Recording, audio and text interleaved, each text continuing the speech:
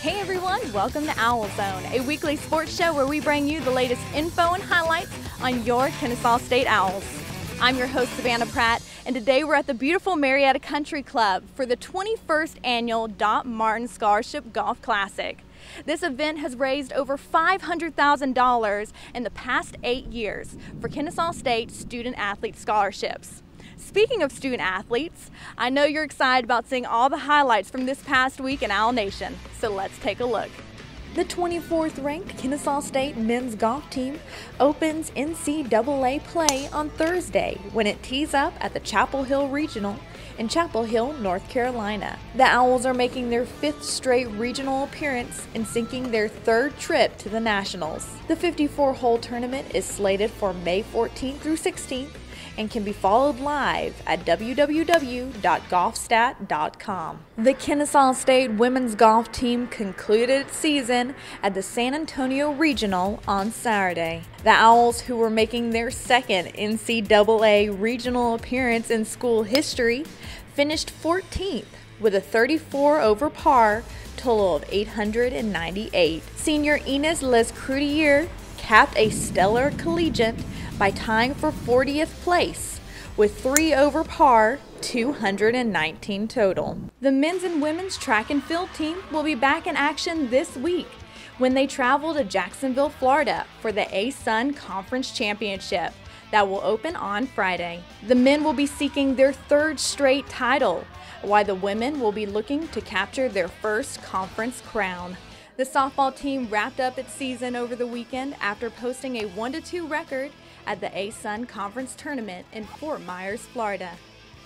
The Owls entered play as the number 3 seed and fell 4 3 to number 6 seed Stetson on Wednesday. Facing elimination, Kennesaw State rallied to defeat number 5 seed Jacksonville 7 1 on Thursday. Playing its second straight elimination game, KSU met Stetson for a second time in three days and fell 7 4 on Friday. The Owls finished the year 32 to 19 under head coach Tori Atchison.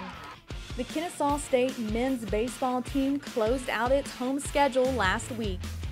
The Owls fell 7 to 4 to Georgia State in a midweek non conference on Wednesday before welcoming Jacksonville to Stillwell Stadium for an Atlantic Sun Conference weekend series. KSU suffered a tough 5 3 setback to the Dolphins on Friday before rebounding with a 9 7 win on Saturday. The victory came on senior day as Benjamin Bancroft, Colin Bennett, Nathan Harsh, and Chris McGowan were honored prior to the game. The win also clinched a berth in the ASUN Conference Tournament that begins May 20th in Fort Myers, Florida. The Owls ended the series on a disappointing note as they lost 12 to 8 in a Sunday series finale. Kennesaw State concluded regular season play this week with a non conference contest at Georgia Southern on Tuesday before visiting ASUN conference leader North Florida in a three game series beginning Friday.